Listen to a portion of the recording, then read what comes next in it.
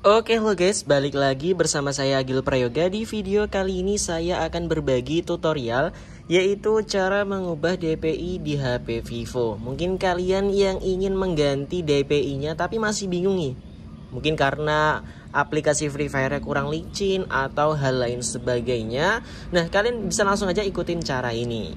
Nah kita langsung aja ke tipsnya. Yang pertama di sini kalian bisa langsung aja buka aplikasi pengaturan Nah, kalau udah di bagian sini kita gulir aja ke bawah. Nanti di paling bawah ada yang namanya menu tentang ponsel. Nah, kayak gini. Oke, kalau udah kalian gulir, kalian pilih informasi perangkat lunak.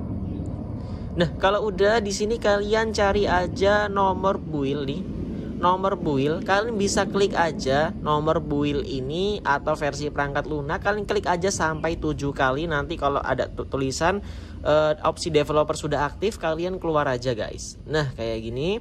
Kalau udah kita bisa langsung aja ke menu sistem. Nah ke menu sistem.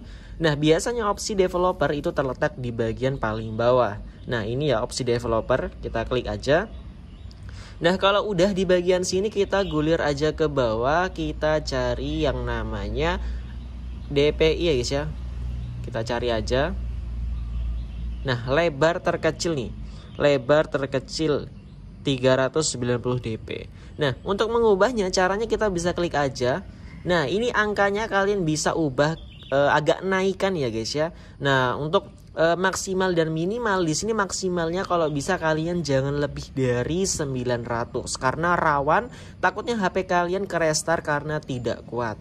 Nah, minimal di sini di bawah 900 ya guys ya. Kalau umpama HP kalian ya masih baru gitu ya, mungkin 900 ke atas bisa lah ya. Nah, kita ubah aja di sini saya contoh ubah ke 700 kayak gini. Nah, kita klik aja oke. Okay. Kita tunggu. Nah, lihat tampilannya akan menjadi kecil-kecil kayak gini, semakin uh, mengecil ya, guys. Nah, kalau ingin mengembalikannya sama seperti tadi, kalian bisa pilih lebar terkecil, kalian balikan aja ke semula. Di sini saya akan ubah ke 400 saja. Kita klik OK. Nah, lihat nanti akan kembali kayak gini. Tinggal kalian ubah aja lebar terkecil ini sesuai keinginan kalian. Nah, gampang banget kan? Mungkin itu saja video kali ini. Jangan lupa like, komen, dan subscribe. Sampai jumpa di video selanjutnya.